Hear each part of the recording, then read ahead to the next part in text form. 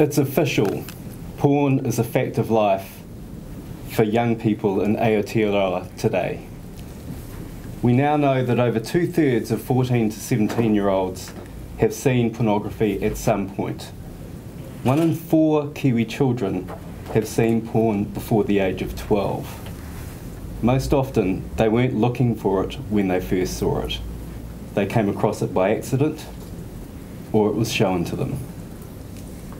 72% of teens who have seen porn recently say they have seen things that made them feel uncomfortable. Nearly half of regular viewers would like to spend less time viewing porn, but they find this difficult to do. Astonishingly, 71% of young New Zealanders believe that children and teens' access to online porn should be restricted in some way. Nearly 90% tell us porn is just not for kids. We know all this because my office has completed our survey of over 2,000 young New Zealanders aged 14 to 17 years old, and we are now publishing New Zealand Youth and Porn research findings of a survey on how and why young New Zealanders view online pornography. This is a major study. It's been informed by frontline experts, academics, and agencies throughout the country. The scope is significant. We've surveyed nearly 1% of the entire population in the 14 to 17 year old age group in this country. It's time to face facts pornography forms a major part of the internet. One single porn site recorded over 28 billion individual visits last year. There are only 7.7 billion people in the world. That's one single site. One site out of tens of thousands, maybe hundreds of thousands. All of this content is available to anyone who has a smartphone, and we know that the average age of gaining a smartphone or access to a smartphone is around about 12 years old in this country or younger. So, what is it really like to be a kid these days? We designed this survey as an opportunity to get young people's views and perspectives on the table. We wanted to give them a voice to tell us what is really going on in this area. We wanted them to explain what they saw how they felt about that. We'd read a lot of studies, a lot of reports and articles written by adults explaining what they thought was going on and what they thought should happen. None of these had seemed to have had any real impact on the current reality for young people. So we thought to ourselves, young people today didn't set things up this way. They didn't create the internet. They didn't invent online porn or the smartphone. They inherited this as part of the way the world is. So, what if we put young people front and centre in the debate around internet porn? What might happen if instead of telling them what we thought, we gave them an opportunity to speak? Might that give us the best chance to make a difference and to really help them? So we did that. We asked, and young people answered. They did not hold back. And we now have their voices, their experiences, their evidence, so that anyone working with young people, parents, caregivers, teachers, guardians, anyone who cares, can have a clear picture of what is happening, what the issues are, and what we might start to do about it. Our aim is to help the change. We think this research gives us the evidence needed to give educators, parents, and guardians the tools, information, and support that they need. This presents both a challenge and an opportunity. A challenge because it puts beyond doubt that porn is a fact of life for young New Zealanders. They have told us in their own words how conflicted they can feel about this. They sometimes see violent, aggressive, misogynistic and coercive behaviour. But it's an opportunity because this research clearly shows that young New Zealanders are thinking about what they see. They are able to recognise the potential harms. They overwhelmingly agree that porn is not for kids, and many of them are up for some kind of limits. So, what are these issues that young people have told us about? Firstly, they've told us that porn is just simply too easy to access. Porn is everywhere on the internet, and this study shows that most young people were not seeking out pornography when they first saw it. They saw it by accident. Maybe they Googled the wrong term. Maybe a friend or a classmate showed, showed it to them. They've told us emphatically porn is not for children, and most agree some form of online restriction is a good idea. The study also puts beyond doubt the fact that porn is informing young people's views about sex. They're learning about sex from porn and it's influencing their behaviour. Sometimes they're imitating what they see. And the older they get, or as they get more sexually active, the more likely it is that they're going to use pornography as some kind of a guide. Most people would recognise this as an issue. Even people in the industry, I would expect, would acknowledge that pornography is not a great guide for what a healthy sexual relationship should look like. But even the young people in the survey told us clearly they could recognise this. They told us it can be a problem. They worry about the false expectations that viewing pornography can place on, on them and what sex should be. And they worry about the sometimes unhealthy attitudes, stereotypes, and behaviours that are often depicted.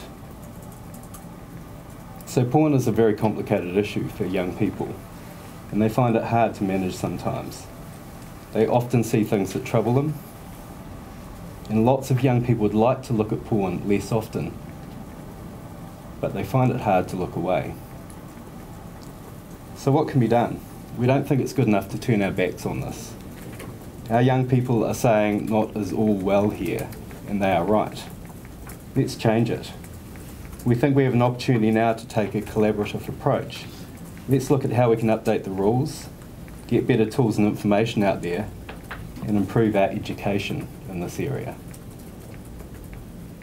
Considering rules and regulation, the key piece of legislation that uh, regulates pornography in this country is the, the act that my office administers, an act that deals with films, videos, and publications. The fact that it references videos tells you much of what you need to know about that Act.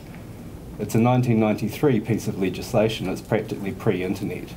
We can do better than that, we can update it and make it fit for purpose. And what young people are telling us is that they're prepared, even expect, better controls, limits, and regulation in this space. Would this fix everything? No way. Any change in rules, any barrier, any limits is only ever going to provide one part of a potential suite of solutions to address the issue. But it could help. It could provide valuable protection for children, particularly the young. Tools and information. It's clear to us that many young people do not have the information, support, and tools that they need to understand pornography, to deal with what they're, they're sometimes seeing, to be resilient. And we know that many parents would also appreciate support in this area. There are some great resources already out there, but it can be very difficult for time poor parents to locate them. We can do better here also. We can compile and make it easy for parents, guardians, and young people themselves to locate the information they need, and we can identify where there are gaps finally, education. Education probably provides the biggest opportunity to make a difference in this area. Young people tell us they want better information on sex and sexuality. Education provides an opportunity for a vital counter narrative to porn, a counter narrative that could reach most young people. The initiative by the Ministry of Education to refresh sexuality education curriculum to be renamed Healthy and Respectful Relationships provides a key opportunity to incorporate the realities of porn into the discussion. So, we're calling for a more informed, cohesive, and collaborative approach to ensure progress is made in this area. This will incorporate regulation, information support, and education. We believe that this approach, supported by evidence, has the best chance of making the changes that young people are telling us should be made. Now, Mihi, thank you for your time. Now, pass to Minister Martin. First of all, I want to acknowledge David and the team sitting at the table and all those that worked from his office on this piece of research. Um, can I be very clear? This is about children. This is not about porn.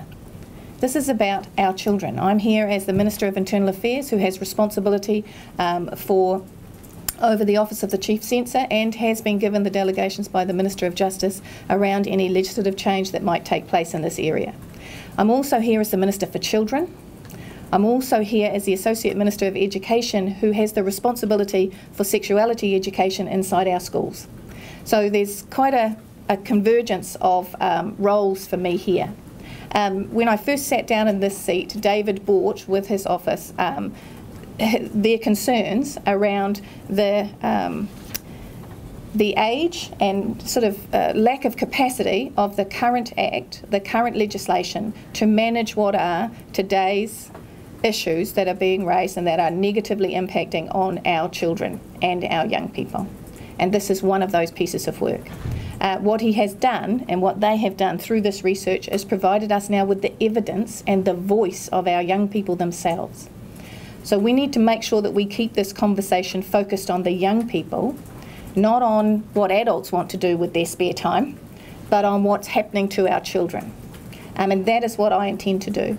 Um, so again, I want to thank them. The piece of work that the Ministry of Education has started is a piece of work that I started with them as the Associate Minister of Education earlier this year, and particularly after ERO reported that sexuality education across our system is variable um, and is not providing what our young people need. I would suggest that while we redevelop that, we need to actually ask our young people what do they need from us and how should it be delivered, rather than once again adults somewhere deciding how that message should be delivered and what that message should be. There are challenges with that, and that is the Tomorrow's Schools model, but um, we are up for the we are up for the challenge. Look, the challenge is multi-layered. Um, you can put in place filters, limits, blocks, you know, around particular um, units, Wi-Fi modems, etc. Um, as soon as someone's roaming um, with data on their phone, you know, you need digital, you know, you need device-specific kind of limitations. So, you know, technically, um, it's it's challenging. It's not impossible, but it's certainly challenging. I think what we have to recognise is we need to work methodically through kind of sensible things that can be done and then at the end of the day go, but actually there is no panacea here. There's no perfect cure-all solution that's going to mean that, that kids are perfectly insulated from internet porn. I mean, that's, that's, that's never been the case anyway. Mm-hmm. Historically, it's even more of a challenge now. So we need to have, as I say, the education, the counter-narrative, the, the the support that they need to have some resilience and some ability to talk to people about mm. what they're seeing. Mm. The, the real surprise for me personally, and, and others might comment, was just the insight that young people had mm. themselves about what was happening, what was going on, um, and the potential impacts of what they were viewing. It was, um, you know, they, they showed acute awareness of, of what was going on and even awareness of when they had an issue, right? Mm. Um, so I'm not sure that I personally expected that, but it, it was that was kind of a welcome mm. surprise mm. because I think we can work with that, mm. right? Is there a I was going. Oh yeah, I was going to say that was a bit surprising when you get a there's all, the whole debate and kind of an academic debate about are there influences of porn whether whether or not those are positive or negative. Um, I think it was surprising for me to get back that statistic of 89% of them saying, well, yeah, we think there are there can be some influence on uh, attitudes or behaviours, mm. and then the added surprise, yes, again, is about those insights because it's one thing to uh, acknowledge that it's like you can have this debate, but we're already over here. We actually think that these are real issues. And then that's so many. We had over 900 individual responses to Mm. "Can you explain about what you think those influences might be?" And um, we got a torrent of them. You know, these young people were answering the question. They wanted to speak on it, which is, you know, really helpful for us when we're trying to talk about solutions that are actually uh, collaborative and uh, making use of the voice of young people. One of the um, interesting counter narratives that came through with the individual responses as well was how many positive or positive, um, I guess, takes on pornography use and what they saw within pornography um, was was quite substantial. The positive influences were carried through um, in their responses. The most surprising thing for me was the amount of people, over 80% of the respondents saw romance um, and affection within pornography. And to me, that's a little bit misconstrued about what romance and affection is. If you perceive that within pornography, what then becomes your ideal of romance and affection? I think for me, because these guys are all on the inside and I'm on the outside, right? So, um, one, I think um, it challenges some stereotypes about um, the gender that are using or viewing pornography, and I think the number of females that Yes. are inside the research and the information that we have from them. Um, I think from the outside in, the level of um, coercion, the level of abuse, the level of degradation, uh, you know, those sort of things that the young people saw when you actually see what were the, how many times did you see that? How many times did you see these like really negative stereo norms? Um, so you know, from the outside looking in, what what's inside there? It, it it's an it's an um, it's a it's sort of it's a call to action. To be perfectly frank.